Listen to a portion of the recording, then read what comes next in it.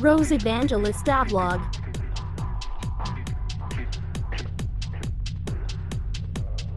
Please like and subscribe.